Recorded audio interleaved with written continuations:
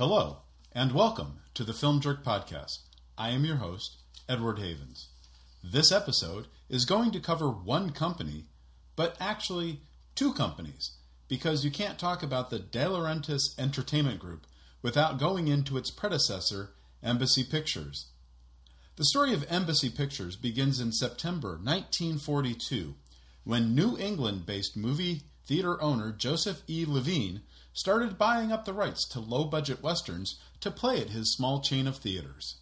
The success of these programs would lead Levine to start acquiring sub distribution rights in the 1940s from Burstyn Mayer Films to such movies as Roberto Rossellini's Rome Open City and Vittorio De Sica's Bicycle Thieves, as well as, in the 1950s, Samuel Z. Arkoff's newly formed International American Pictures.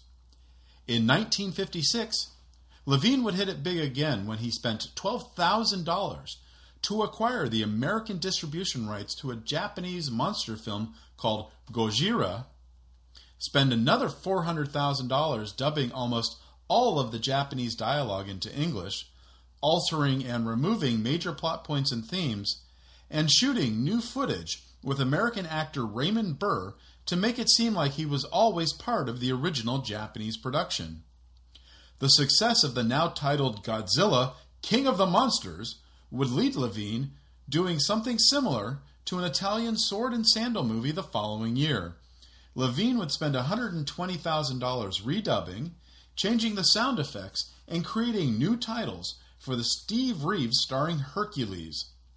The redone movie would be distributed by Warner Brothers Pictures, as Embassy Pictures did not have the ability to release a movie into a then wide release of 500 plus theaters, although Levine himself would still spend over a million dollars promoting the movie. Hercules would end up becoming the highest grossing film released in 1959. Embassy Pictures, by the end of 1960, would have local distribution offices in 15 major American cities, as well as in London, Paris, and Rome. Levine would have another major success in 1961 when he brought De Sica's Two Women, starring Sophia Loren, to America. The movie was originally supposed to be made at Paramount Pictures, for whom Loren had made a number of movies with in the past few years, but with Loren as the daughter and Anna Magnani as the mother, under the direction of George Cukor. Cukor and Paramount would eventually drop out of the project, which was being produced by Loren's husband, Carlo Ponti, and Ponti would be the one who signed De Sica up to direct. De Sica thought Loren should be playing the 30 something mother protecting her daughter from the horrors of war, even though she was only 26 at the time. The film was financed through Italian and French investors, which is how French actor Jean Paul Belmondo came to play a major role in the film.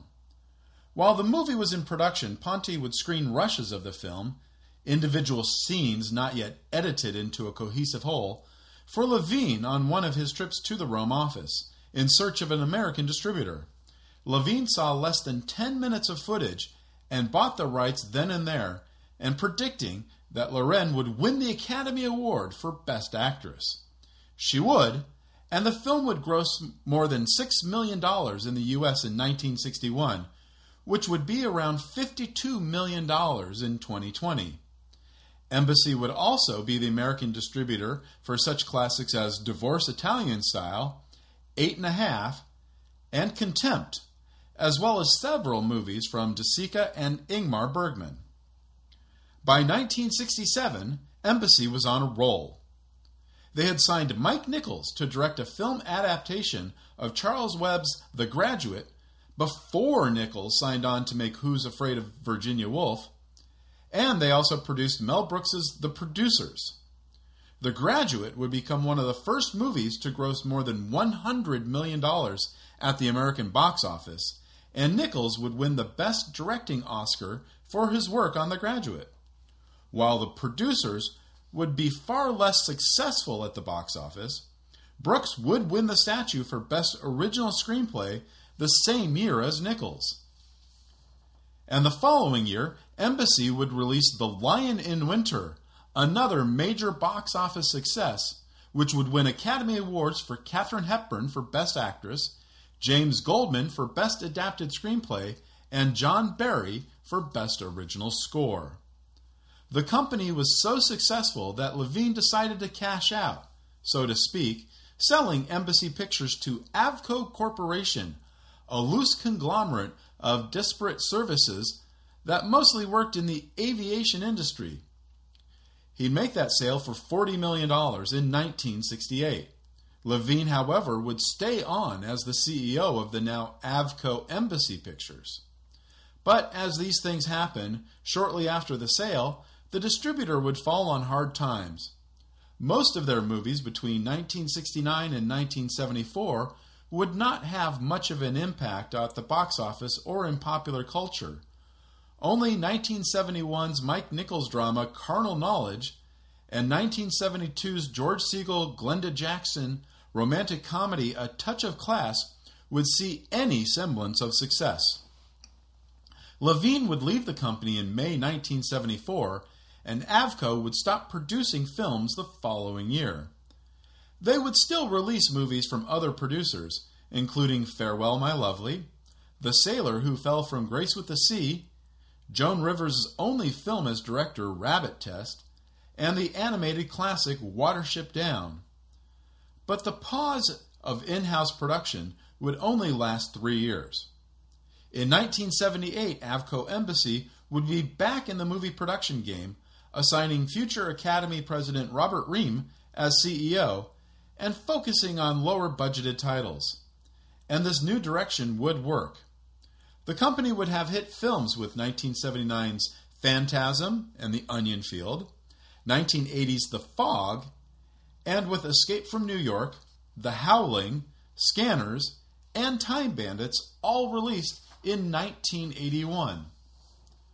Norman Lear, the successful producer behind All in the Family, The Jeffersons, One Day at a Time, and The Facts of Life, would buy Avco Embassy Pictures in January 1982 and with his partner Jerry Perenchio, would merge the company with their own production companies, Tandem Productions and TAT Communications, to form Embassy Communications.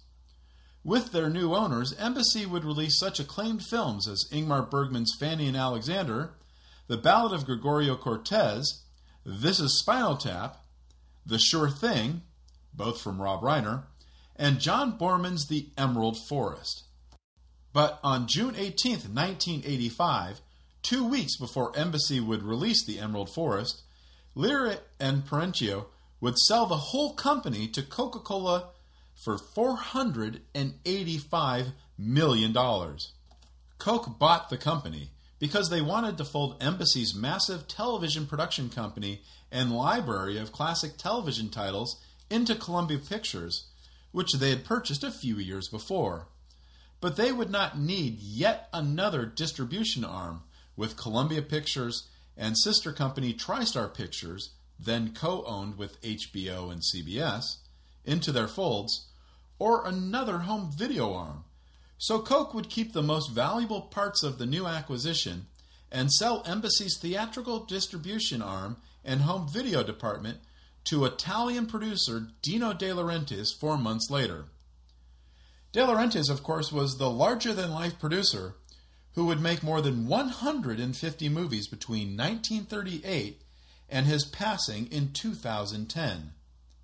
The list of filmmakers he would work with over his career would blow anyone's mind.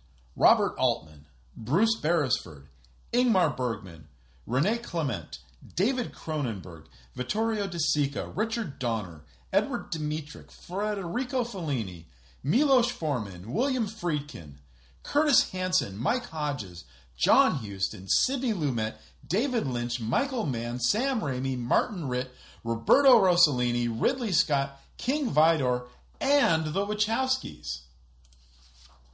And the list of films he produced included Bitter Rice, La Strada, for which he won the Oscar for Best Foreign Language Film, Nights of Cabiria, Battle of the Bulge, The Bible, Danger Diabolik, Barbarella, Serpico, King Kong, The Shootist, Flash Gordon, Halloween 2 and 3, Ragtime, Conan the Barbarian and Conan the Destroyer, Dune, The Dead Zone, and Army of Darkness. In 1983, De Laurentiis was producing an adaptation of the Stephen King novel Firestarter, which was filming in Wilmington, North Carolina. The governor of North Carolina at the time, Jim Hunt, saw the increased economic activity happening around Wilmington during the shooting of Firestarter and proposed tax incentives and loans to get De Laurentiis to buy up a local, large, unused warehouse space and convert it into a production studio. In 1984, with producer Martha Schumacher, De Laurentiis would create that studio as part of his newly formed North Carolina Film Corporation. But De Laurentiis, who financed his own movies, was still subservient to the whims of the ever changing executives at the major studios. He was tired of having to give up powerful revenue streams like videotape and cable rights in order to get distribution through those other companies. But starting up a completely new distribution company to compete with the studios would have been cost prohibitive to the independent producer. A perfect storm was brewing. A movie studio needed to dump a fully formed movie distribution apparatus, and an independent producer was looking to create a movie distribution apparatus. De Laurentiis and Coca Cola started meeting in the summer of 1985, and on November 1st, Embassy Pictures would become a part of the newly formed De Laurentiis Entertainment Group. But Embassy would still release one more movie before officially becoming DEG. Herb Gardner's The Goodbye People, based on his own play, would arrive in theaters on January 31, 1986, more than a year after it premiered at the Toronto International Film Festival. When De Laurentiis started his eponymously named studio, he stressed he would be making movies that would be considered major studio level films, which at the time would be in the 15 to 20 million dollar production range. The first film DEG would release would fall several million dollars under the lowest level of that estimate, even with an up and coming major star with their name above the title. We talked a bit about John Irvin's Raw Deal in our 16th episode about the films of June 1986, but it had all the hallmarks of what should have been a hit film at the time. Arnold Schwarzenegger was coming off the one two punch of Terminator and Commando, both of which had grossed more than $35 million in theaters, and De Laurentiis was hoping the $12 million Raw Deal would make enough at the box office to help him finance his long gestating, expensive adaptation of the Philip K. Dick novel Total Recall. Poor reviews don't always keep action films away from these type of movies, and Raw Deal would open in second place on June 6, 1986, with a healthy $5.4 million gross. But it would fall out of the top 10 within four weeks and barely make it to a $16 million final tally. DEG also opened My Little Pony the movie on June 6th. This was part of a group of low budget animated movies produced in Japan by the toy manufacturing giant Hasbro, trying to cash in on the popularity of some of their more successful toy lines, alongside an animated Transformer movie and an animated G.I. Joe movie. But the problem with these types of movies is that they're done rather cheaply and created not for any kind of artistic merit, but to sell more toys, which means they'd have poorly constructed stories that are boring to kids and adults alike. The movie was produced independently of any studio, and all the major studios would pass on the film. DEG would pick up the three movies as a package deal. Hasbro would get an influx of cash to offset the cost of the productions and DEG would have three completed films to get out into theaters whenever they had a hole in their release calendar. Of the new movies that opened on June 6th, Raw Deal had the widest release with 1,731 screens. Tobe Hooper's Invaders from Mars screened in 1,212 theaters. The adventure drama Space Camp ran in 979 theaters, and My Little Pony went out to just 421 locations. The theaters that did play the movie screened it to mostly empty houses. its $416,000 gross would only put it in 10th place, and its $988 per screen average was a good 33% lower than Woody Allen's Hannah and Her Sisters, which had been released 18 weeks earlier and was the movie in 11th place that weekend. My Little Pony would play throughout the summer, mostly matinee only shows, and it would eventually gross $5.9 million after 29 weeks. The next few DEG movies we also covered in our Summer of 1986 miniseries earlier this summer. Stephen King's Maximum Overdrive was the fifth movie adapted from a King story that had been produced by De Laurentiis, the best of them being David Cronenberg's The Dead Zone, the rest of them being the aforementioned Firestarter, Cat's Eye, and Silver Bullet. Maximum Overdrive would have been the first movie King directed, and the last. When the film opened on July 25th, it only opened in seventh place, with $3.2 million from 1,198 theaters. The film would hang around for the remainder of the summer and fall, playing mostly as a B title at drive ins. After five and a half months, Maximum Overdrive would only scare up about $7.4 million in ticket sales. August 8th saw the release of that Transformers movie I spoke about a few moments ago. Although the television series had been popular in syndication, the producers of the film and Hasbro themselves wildly underestimated the popularity of one of its prime characters. So when the movie opened, it did okay business $1.8 million from 990 locations. But word of the killing of that popular character spread quickly, despite the lack of a global social media outlet or any kind of connected interwebs in general, and any hopes for the film becoming a success were dashed. The film would lose half of its audience in week two and half of that in week three. By Labor Day weekend, week four, it was at the bottom of the top 20 and would soon end its theatrical run with $5.8 million. And that character that was killed off in the movie? The producers rushed to have a new episode of the TV show created to bring that character back to life. And that character remains either the most popular or second most popular Transformer character two generations later. Michael Mann's Manhunter was released on August 15th. Maybe the dog days of summer weren't the best time to release a moody, atmospheric thriller about an FBI agent who resorts to getting help from one serial killer to help catch another serial killer. It was a damn good movie in 1986, and it's only gotten better with time. But at the time, audiences resoundingly rejected the $15 million film.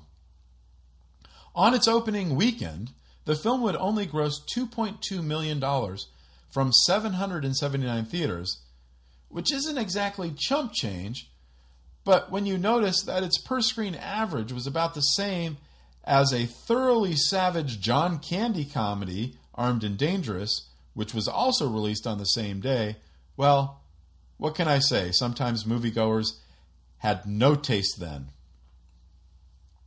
DEG would release two movies on September 19th that couldn't have been any more different. The first was Albert Pyun's Radioactive Dreams. Now, it's okay if you've never heard of it. The di- film didn't have a well known cast, it didn't have a big budget, a mere $3 million. Its director never had any kind of breakthrough film, although at one time he was slated to direct a Spider Man movie for the legendary 1980s B Movie Factory Cannon Films. In fact, his Spider Man movie was canceled deep into pre production, so he converted most of the sets and costumes and created the late 80s cult film Cyborg out of its burning ashes. One of the worst movies in the Cannon library, or in star Jean Claude Van Damme's oeuvre. Radioactive Dreams tells the story of two young men named, seriously, Philip Hammer and Marlowe Chandler, who break out of their fallout shelter 15 years after a nuclear war, having grown up on their own with only 1950s pulp detective novels and music as their history of the world that once existed. They set out on a course of adventure, wanting to make it big as the private eyes like the ones they've spent their entire lives reading about. But the new post nuclear world had different ideas. The young men are played by John Stockwell and Michael Dudikoff, and they're supported by Lisa Blount, George Kennedy, and Don Murray. The film would open in 15th place with only $141,000 in ticket sales from 90 theaters. By the end of the week, DEG would stop tracking its grosses, which would total $220,000. It's only been released once on VHS in the late 80s and never on DVD in America. There are two copies of the film up on YouTube as of late August 2020 if you want to check it out. One is a poor copy from a VHS tape and just happens to be missing the last 20 minutes of the movie. The other is a better transfer, but it happens to be in Spanish. You'll have to turn your subtitles on to watch Sueños Radioactivos. The other movie is probably the best known title they released. From the mind of David Lynch comes a modern day masterpiece, so startling, so provocative, so mysterious, that it will open your eyes to a world you have never seen before. She wore blue velvet, but in my heart there'll always be precious and warm a memory through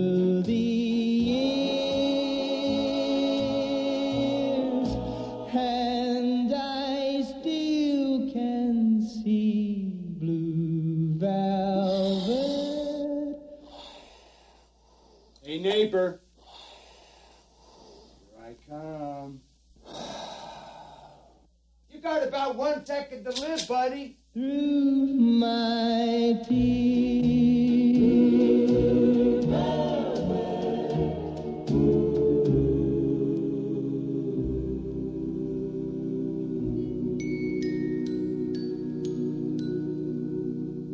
Back in February 1981, Blue Velvet was set up as Lynch's next film project at Warner Brothers around the time he would receive his first Oscar nomination for Best Director for his work on The Elephant Man.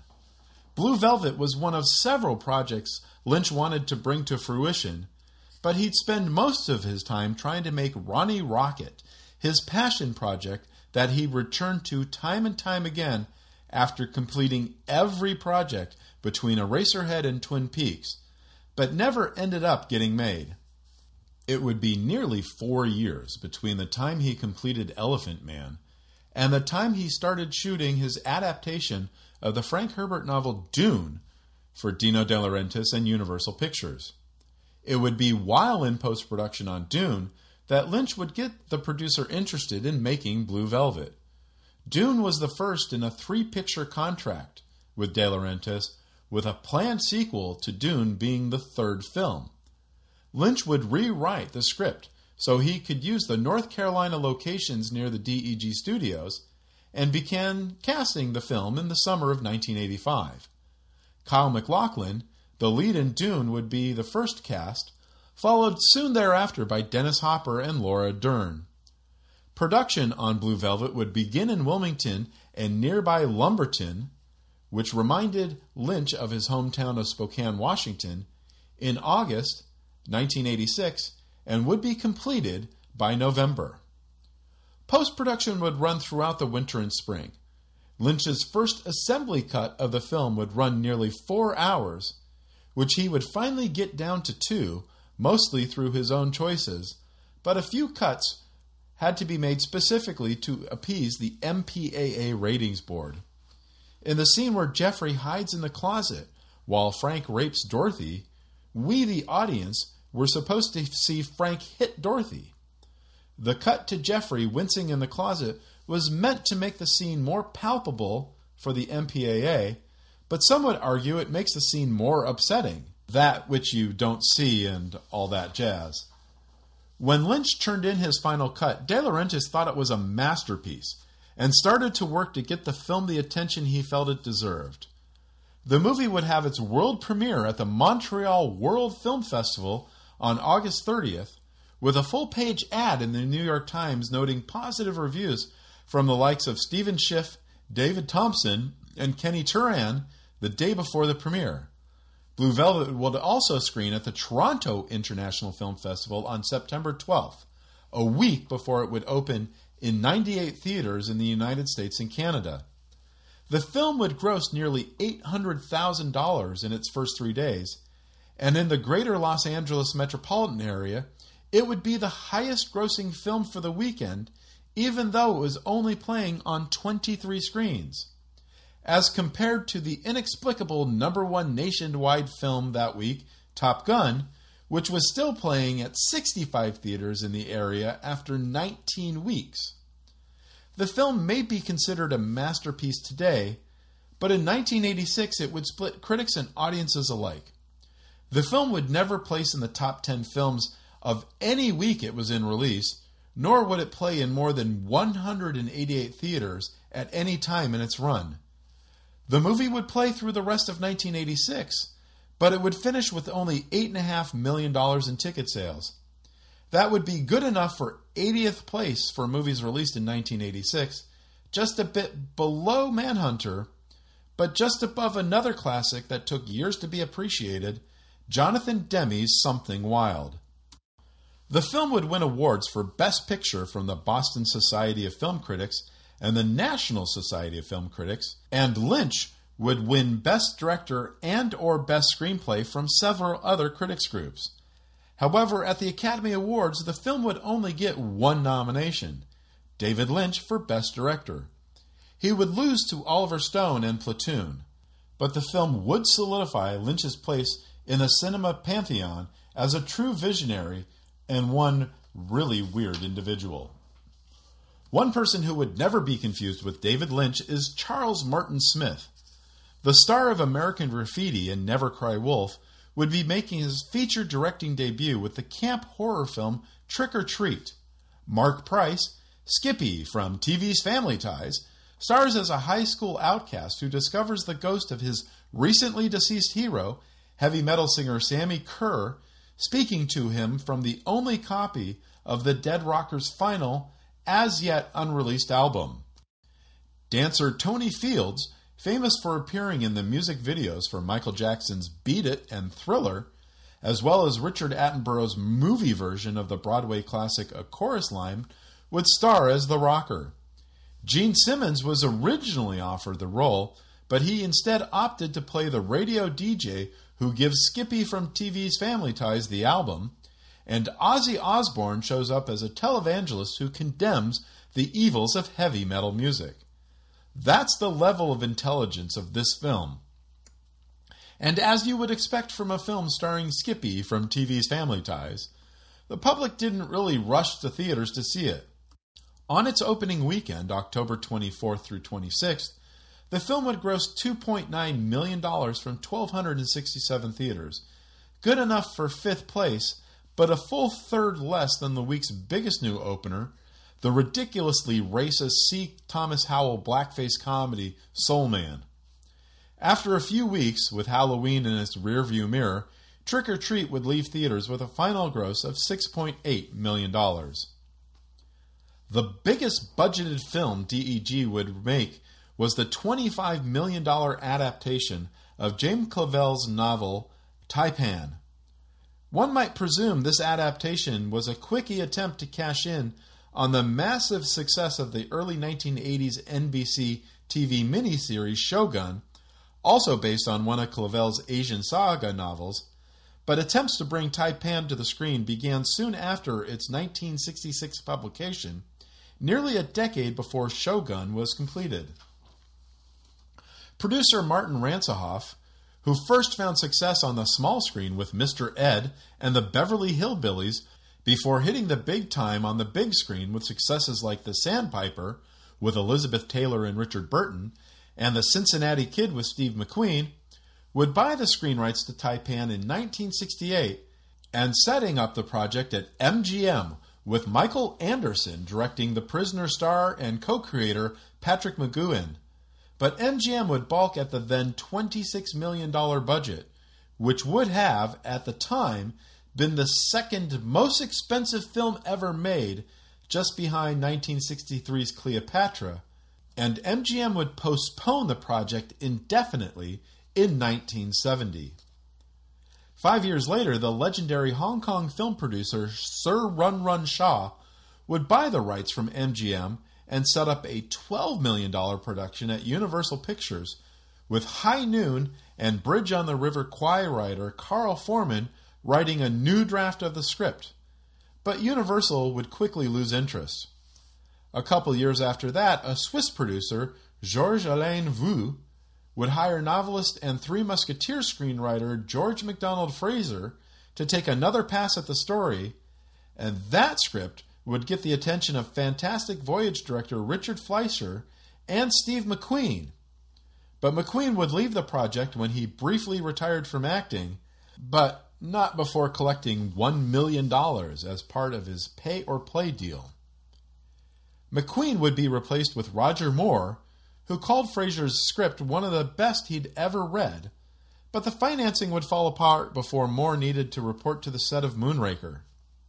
For a brief moment, it looked like Sean Connery would star for director Martin Ritt, but V's option would expire before he could get it all together. And then the Shogun miniseries premiered to blockbuster ratings in September 1980. But it would be another three years before De Laurentiis would pick up the screen rights to Tai-Pan. He'd set the project up at Orion Pictures and tried to get Connery back on board, but the actor politely declined. When De Laurentiis set up his new studio, he was able to get the project moved from Orion to DEG, and shooting would begin in late 1985 with Thornbird star Bryan Brown and Joan Chen in the leads, and Canadian filmmaker Daryl Duke, whose biggest film before this had been the $3 million heist film The Silent Partner with Elliott Gould and Christopher Plummer, calling the shots. Tai-Pan would become the first English language movie to shoot in mainland China, but even before the film was completed, De Laurentiis would admit to a New York Times reporter that filming the movie in China was a big mistake. The story itself follows the adventures of two men who moved to Hong Kong after the end of the First Opium War in 1842, who try and destroy each other as they try to become the operator of a harbor that will help the small, mostly uninhabited island become a major trading post in years to come. And you can't say De Laurentiis cheaped out trying to make this film the best it can be. The final screenwriters for the film were John Briley, who won an Oscar writing the 1982 Best Picture winner Gandhi, Stanley Mann, who was nominated for an Oscar for the 1965 William Wyler movie The Collector, and James Clavell himself. Maurice Jarre, who would write the score to every David Lean movie from Lawrence of Arabia on, would create the music. Jack Cardiff, the extraordinary cinematographer and director who shot the Powell and Pressburger masterpiece A Matter of Life and Death, would light this film, and Anthony Gibbs, who credits include Tom Jones, Fiddler on the Roof, and Rollerball, would cut the film together. But Duke, the director, was clearly out of his league here. You can hire the best writers, and the best composer, and the best cinematographer, and the best editor. But if the director isn't quite up to the task, there's only so much these masters can do to make that movie work. When the film finally opened on November 7th, the reviews were savage and theaters mostly empty. Its $1.86 million opening weekend was good enough for fifth place and would be the highest grossing of seven new movies to open that weekend. But the number one movie this weekend, Crocodile Dundee, would do nearly four times that amount, and the film had opened several weeks earlier. By weekend number two, it would lose more than 55% of its audience, and it would leave theaters altogether after only eight weeks and barely $4 million in ticket sales. Bruce Beresford's Crimes of the Heart was an embarrassment of riches when it came to the casting of great female actresses of the time. Based on Beth Henley's 1979 Pulitzer Prize winning play, the story follows three sisters who have reunited at their family home in Hazlehurst, Mississippi, to come and settle the consequences of their past indiscretions. Diane Keaton was the eldest sister, Lenny, Jessica Lange, the middle sister, Meg, and Sissy Spacek, the younger sister, Babe. The film also starred Sam Shepard and Tess Harper. While the $9 million movie would get great reviews when it arrived in theaters on December 12th, it would often suffer unfair comparisons to another 1986 movie that featured three great actresses playing messed up sisters with messed up relationships Woody Allen's Hannah and her sisters. But audiences didn't seem to mind. Opening in just 246 theaters, the film would open in seventh place with $1.4 million, and its per screen average would be the second highest of the films in the top 12. The film would continue to play well throughout the end of the year and into early 1987, persistently adding screens every week for the first month of, and a half of its run, topping out with 685 playdates in week 7, and finishing its run with $22.9 million after nearly six months. That total would end up being the highest gross for any DEG movie released. Sissy Spacek would be nominated for Best Actress for her role as Babe, as would Tess Harper in the supporting category as the gossipy cousin who still lives next door. Beth Henley would get a nod for the screen adaptation of her play. One week after Crimes of the Heart was released, DEG would unleash its hoped for Christmas blockbuster. Well, how's our boy doing? Incredible.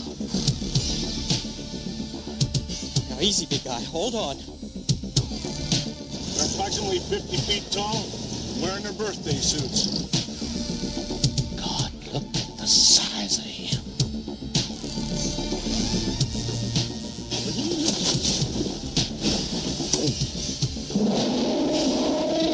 Did you say your beast is a female?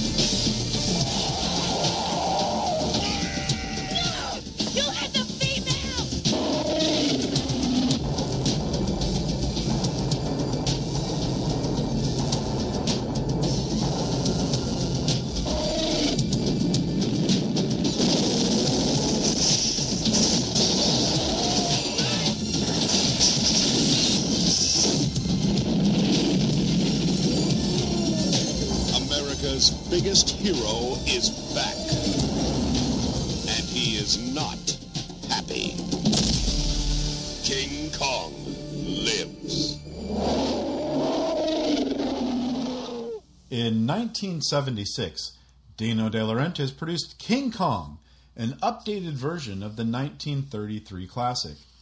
It wasn't a very good film, but it was a massive success at the box office during the Christmas season, grossing more than $90 million. There was going to be a sequel someday.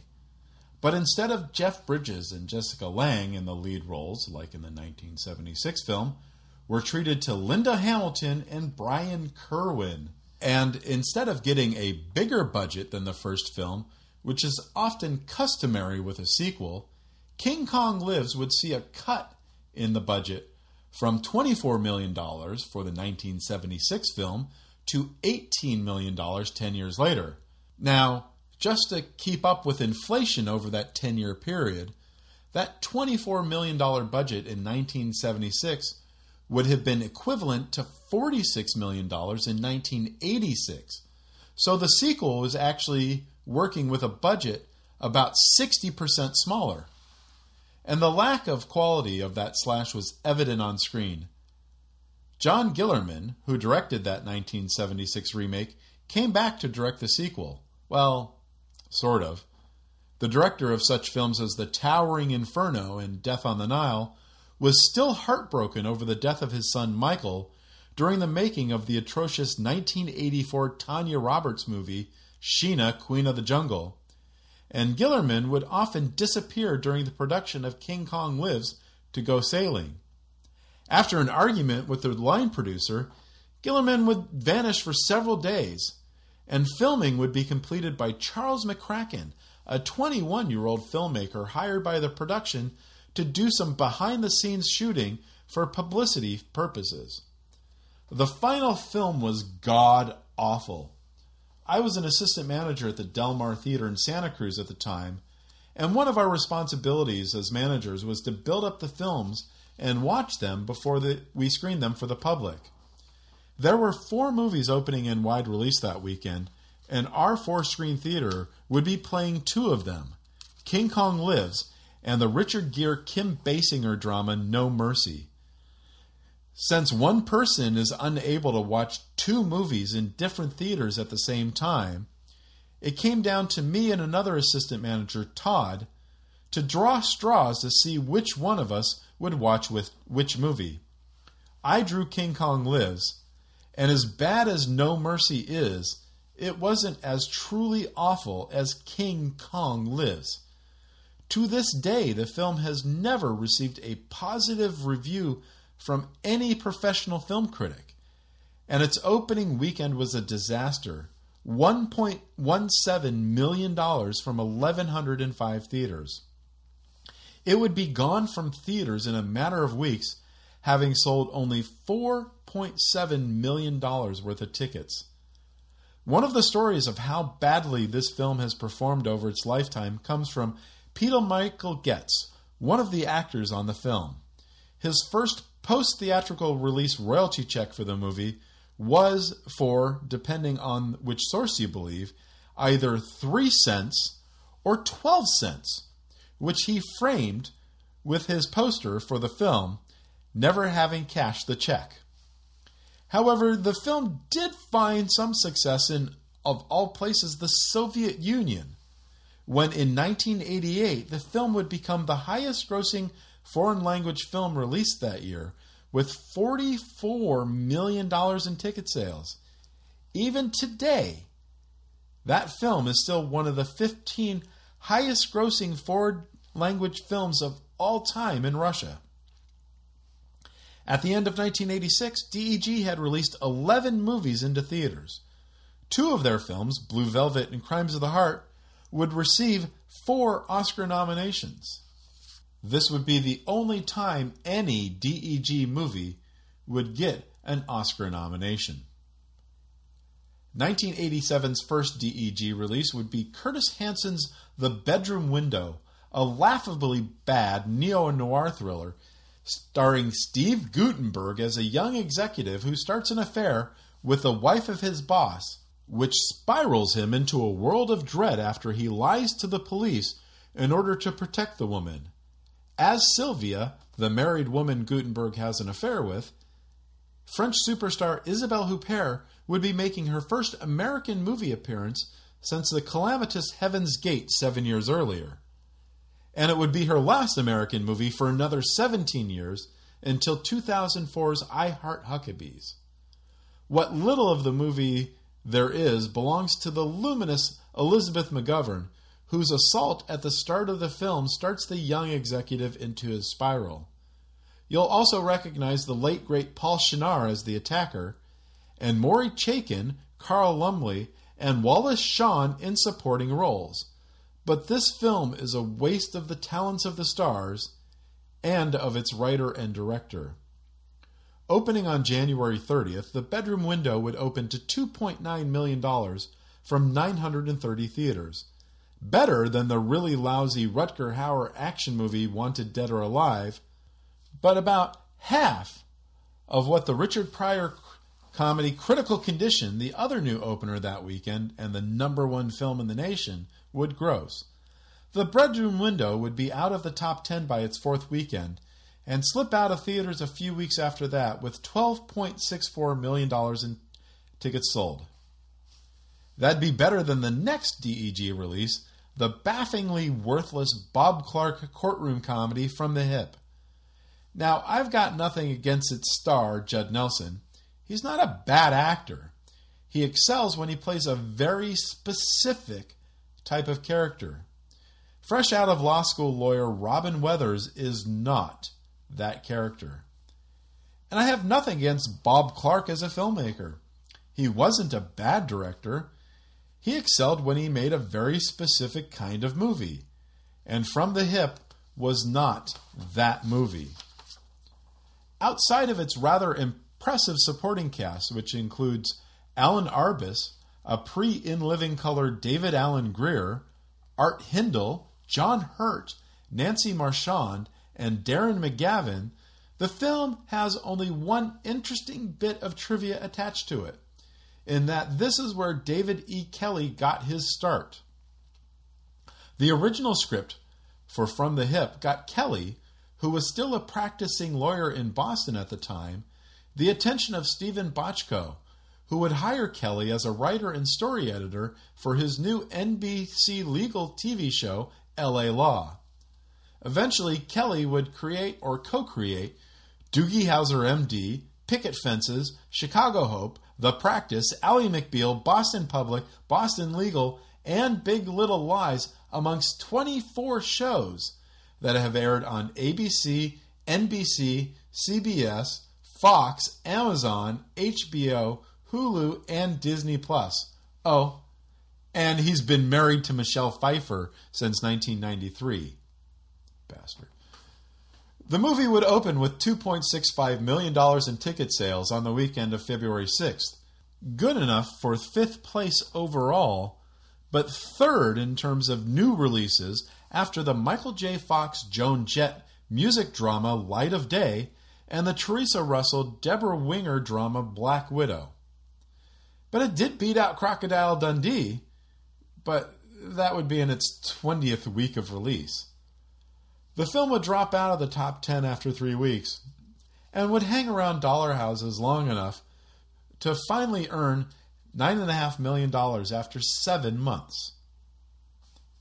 After the theatrical and home video success of The Evil Dead, Sam Raimi got to work on Crime Wave, a weird comedy horror hybrid film which would be a collaboration with his Evil Dead lead actor Bruce Campbell, his co producer Robert Tapert, and Joel Coen, who, before directing Blood Simple with his brother Ethan, was one of the assistant editors on The Evil Dead.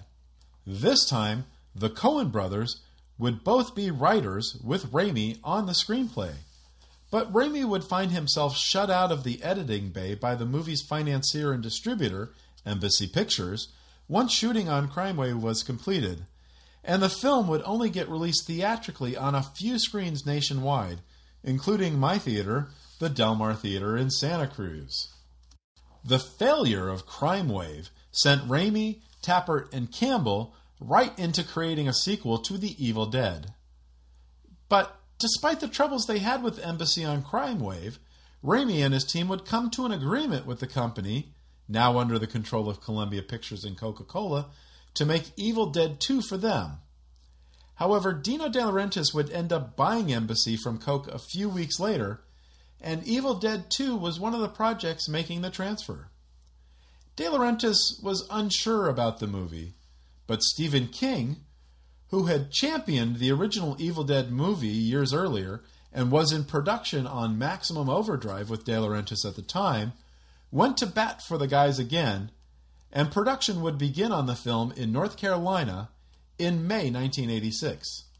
The original film had been shot in a remote cabin in Tennessee on 16 millimeter film with a budget under $100,000.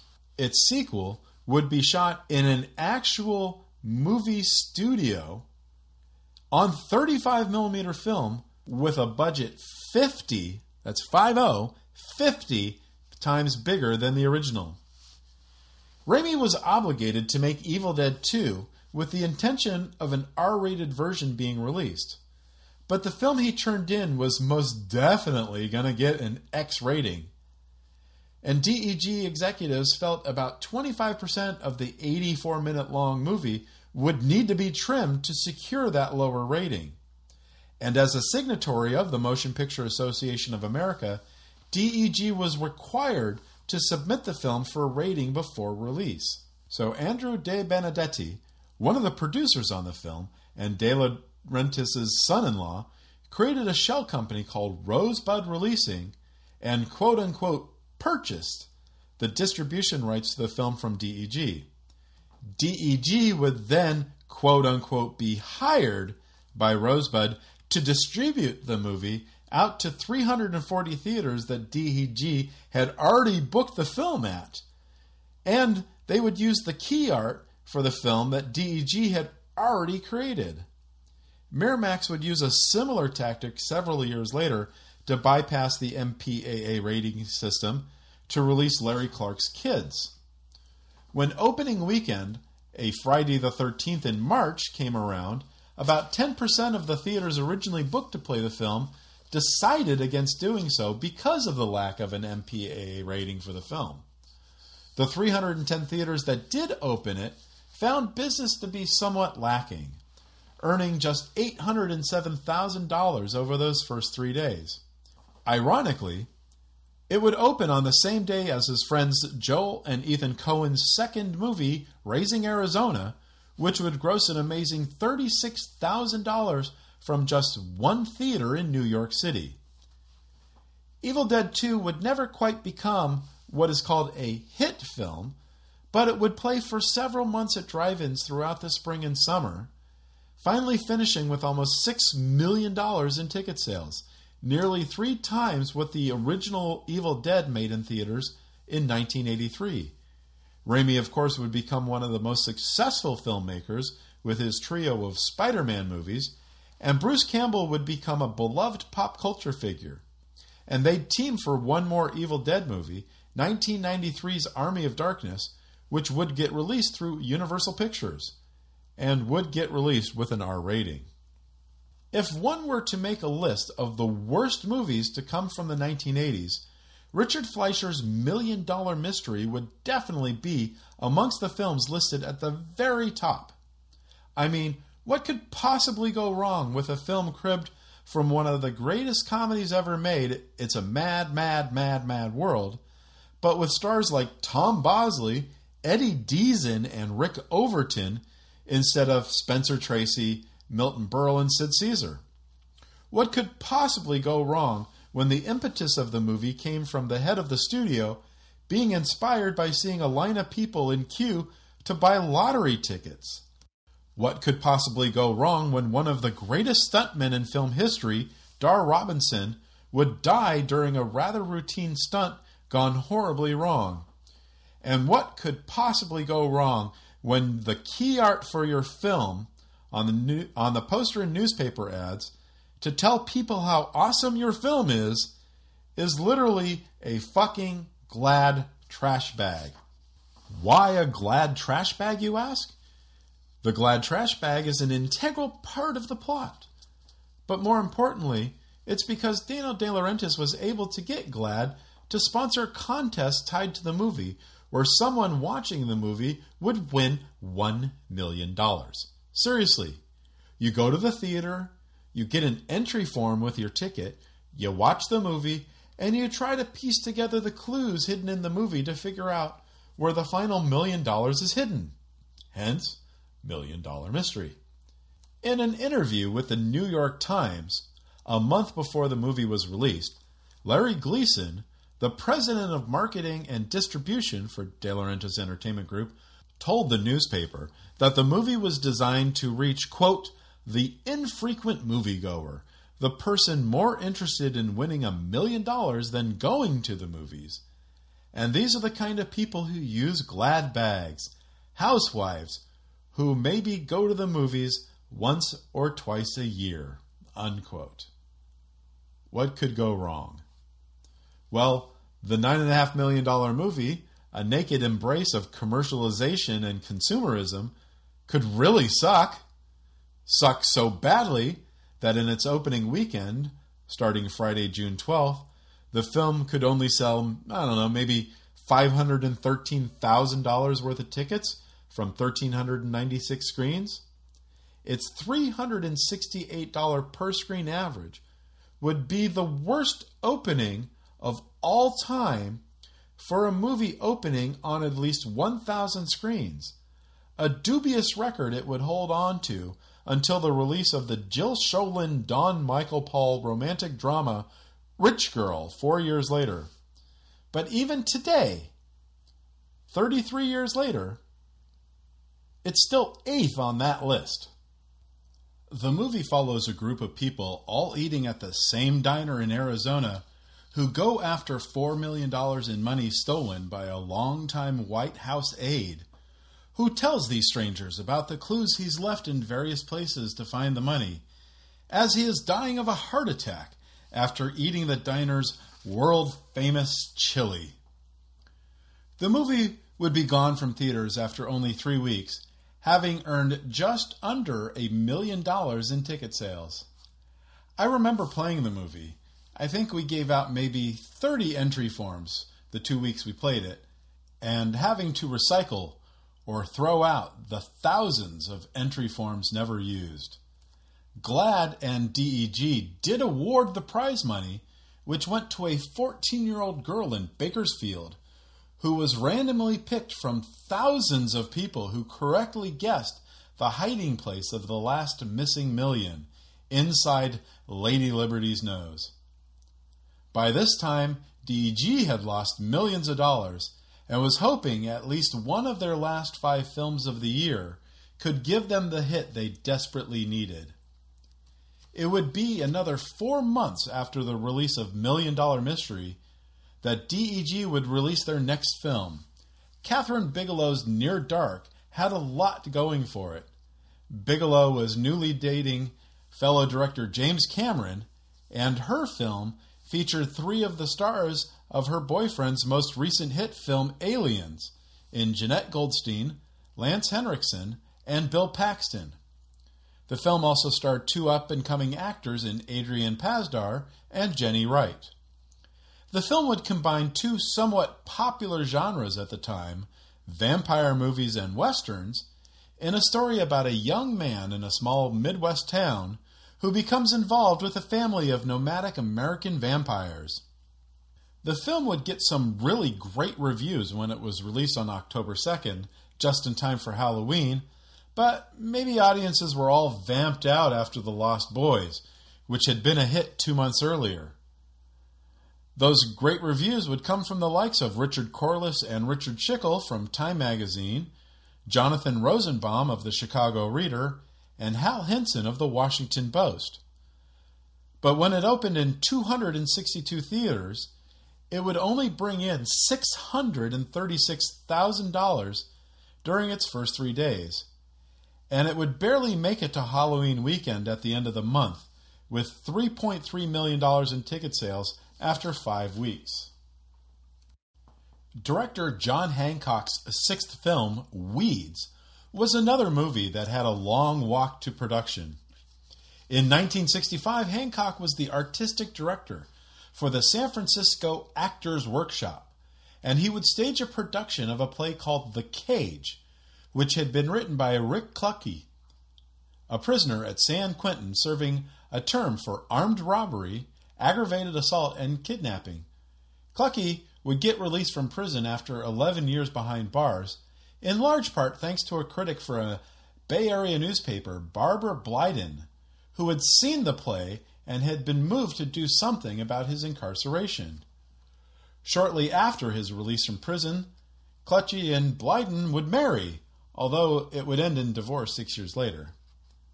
Cluchey and Hancock remained in touch over the years, and looking for a moving project after his lackluster 1979 film California Dreamin', Hancock would work with his wife Dorothy Tristan to churn Cluchey's story, both inside the joint and after his release, into a movie. In 1980, Hancock made a deal with Irwin Winkler and Robert Chartoff, the Oscar winning producers of Rocky, to make the movie at MGM for $15 million with Robert De Niro in the lead role. But that deal would collapse within a year. Winkler and Chartoff would then take the project to British production company EMI, the, co- the company behind such classics as Monty Python and the Holy Grail and Close Encounters of the Third Kind, again with De Niro in the lead, but that deal would fall apart before cameras could roll. In 1983, there was another attempt to make the film with a lesser actor in the lead and a budget of only $8 million, but again, nothing would come of that. In 1985, Winkler and Chartoff had let their option lapse, and Hancock would get the script to DEG, who agreed to make the now $12 million movie with Nick Nolte in the lead. Production would begin at DEG Studios in North Carolina in November of 1986, but there'd be drama brewing almost as soon as the shooting began. Cluchey had been paid $200,000 for the rights to his life story, and a guarantee both that he would have a speaking role in the film and that members of his San Quentin drama workshop would have roles in the film as well. His role in the film would have no speaking lines, and none of his drama workshop participants would appear in the movie. He was also displeased that the final film gave weight to claims that he derived parts of The Cage from a prison set drama, Death Watch, by French author Jean Genet. It also didn't help that while filming at a real prison outside Wilmington, one of the members of the film crew bonded with one of the inmates and would help that prisoner escape after the film crew packed up one day. The reviews for Weeds were decent, and a number of critics praised the work of Nick Nolte, and early audiences were enthusiastic for the film. Opening in eight theaters in Los Angeles and New York on October 16th, Weeds would gross a very respectable $133,000. The only film that would have a higher per screen average that weekend would be Barbet Schroeder's Charles Bukowski drama Barfly, which only opened on two screens. It would perform better than David Mamet's House of Games and John Boorman's eventual Best Picture nominee Hope and Glory, both of which also opened the same weekend.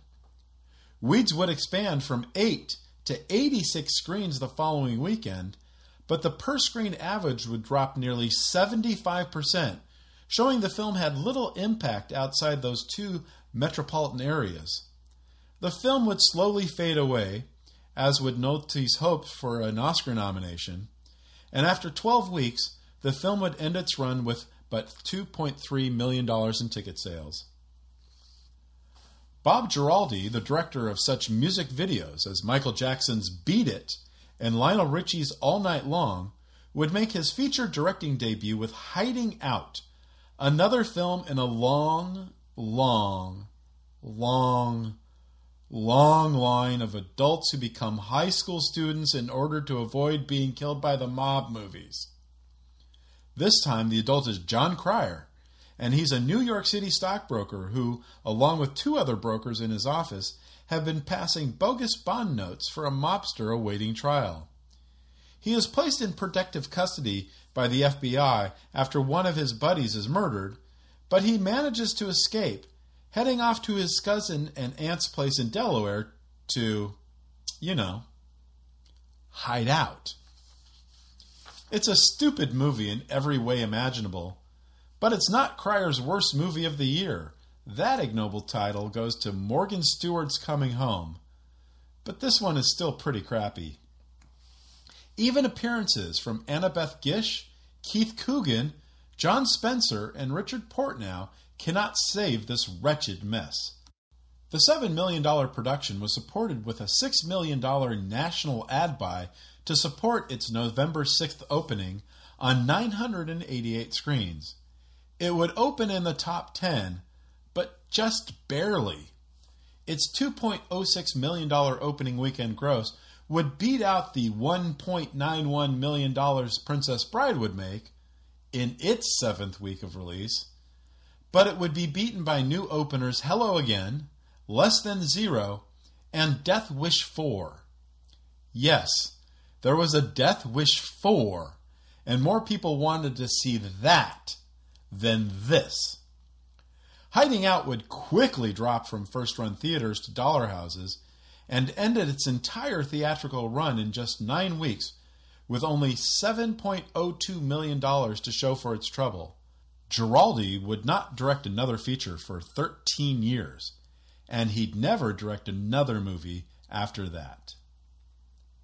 In 1986, Tom McLaughlin would help bring a temporary new life to the Friday the 13th cinematic universe when he helped retcon Jason Voorhees into the monster we all now love with Friday the 13th Part 6 Jason Lives. And for his resurrecting that fallow franchise, his reward was to, to be able to direct his dream project, Date with an Angel, a romantic comedy about as far away from the two horror centric projects that made him a name in movies. Michael E. Knight stars as an executive at a cosmetics company who is on the verge of getting married to Phoebe Cates, the spoiled daughter of his boss. That is, until he falls for an angel in the form of French actress Emmanuelle Béart, who has fallen to Earth after she's collided with an Earth orbiting satellite. General wackiness ensues as he tries to protect his angel while he slowly dies from a brain tumor, and while his shotgun toting fiancee decides to blow everything to smithereens over their failed relationship. I vaguely remember this movie having seen it one time 33 years ago. What I remember is that I can understand why any man would give up on someone like Phoebe Cates when it came to someone like Emmanuelle Béart, and I was pissed off Phoebe Cates hadn't made a movie since Gremlins three years earlier and decided this nonsense was worthy of her talents. I wouldn't be shocked if you don't remember the movie, even if you were an avid moviegoer in 1987. The film had no impact whatsoever.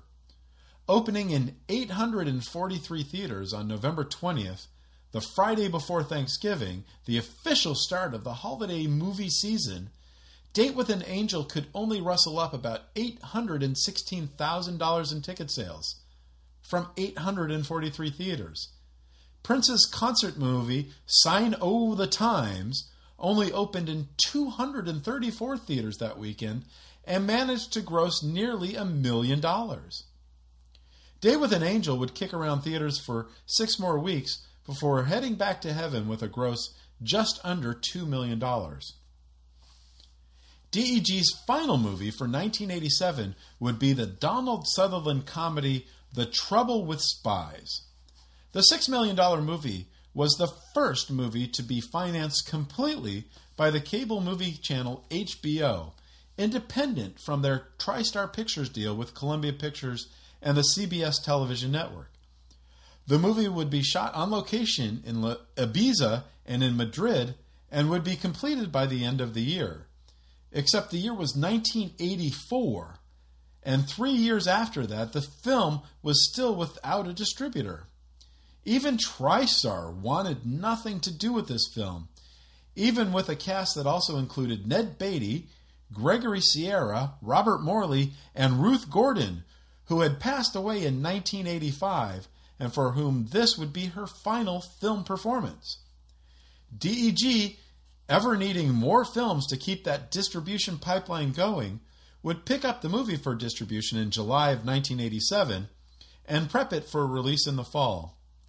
There apparently was some kind of test engagement in the fall of 1987 in Dallas, Houston, and Seattle before DEG released the film in Los Angeles, New York City, and other major metropolitan areas on December 4th. The film was so bad Vincent Canby of the New York Times didn't review the movie so much as warn people with an amazing brevity of less than 200 words to not seek this movie out. And audiences listened. Between those two releases, the film would gross just $205,000. And then, nothing. They were supposed to release the Werner Herzog Klaus Kinski collaboration Cobra Verde on December 11th, but that never happened. They were supposed to release the James Glickenhaus action drama film Shakedown with Sam Elliott and Peter Weller in his first movie after Robocop, but Glickenhaus would take back control of his movie and sell it to Universal Pictures. They were supposed to release the Peter Bogdanovich comedy Illegally Yours with Rob Lowe in July 1987, but a couple of bad test screenings pushed the release date into 1988. Eventually, Bogdanovich would get back control of his movie, and he would get it released by United Artists a week after Shakedown. There were other movies that they were supposed to release Stan Winston's Pumpkinhead, the Tim Robbins John Cusack comedy Tapeheads, which we covered in our previous episode, Christopher Coppola's Dracula's Widow, Bill and Ted's Excellent Adventure, the Jeff Goldblum Geena Davis Jim Carrey sci fi comedy Earth Girls Are Easy, and William Friedkin's Rampage. The collapse of the De Laurentiis Entertainment Group should not have been a surprise to anyone. As a public company, they were required to file quarterly reports with the Securities and Exchange Commission, and in their third quarter 1987 10Q form, the company warned of a dire balance sheet that could result in a default of their bank loans as early as November 1987. The investment firms of Bear Stearns and PaineWebber both tried to help the famed producer, but the stock market crash of October 19, 1987, known colloquially as Black Monday, put an end to those hopes. DEG would finally file for bankruptcy on August 16, 1988. The studio space in North Carolina and most other DEG assets would be sold to Carolco Pictures, the future producers of Terminator 2 and Total Recall, while the film library, which still included most of the embassy titles from the 1950s to the 1980s, would be sold to a French film company, Paravision, which itself was a division of the French cosmetics company L'Oreal. So, what happened? It's something we'll see happen time and time again with so many other independent 1980s film distributors. In an August 1987 Los Angeles Times article about the impending collapse of the studio, an analyst for a New York based investment firm called it right off the bat. About two years ago, the analyst was quoted as saying, a fallacious concept arose in the investments community that, with all of the ancillary markets, you couldn't lose money in the movie business. As a result, the whole movie making group was painted by Wall Street with the same positive brush, and many IPOs came forward. But that was an untruth put forward to investors, a bunch of baloney, he said. Today, we have many smaller movie companies hurting on the earnings side because their inability to have many or any theatrical hits. The industry has not changed that much. The main game is still theatrical box office. Ancillary markets may help protect you, but they are not the panacea. Thank you for listening. We'll talk again soon. The Film Jerk podcast has been written, narrated, and edited by Edward Havens. As we are an independent podcast without sponsors or a network of websites to help promote the show, we rely on word of mouth to get the word out about the show. So please help get the word out. Please post about the podcast on your socials. Please rate and review the show on your favorite podcast sources. Good ratings and reviews help get the podcast higher rankings, which help get the show seen by more potential listeners. And as always, I look forward to your comments about the show. You can leave me a note on this podcast's page at filmjerk.com, or you can, or you can leave me a message on my Twitter feeds at Edward A. Havens or at FilmJerk. The Film Jerk podcast has been a production of Idiosyncratic Entertainment. Thank you again. Good night.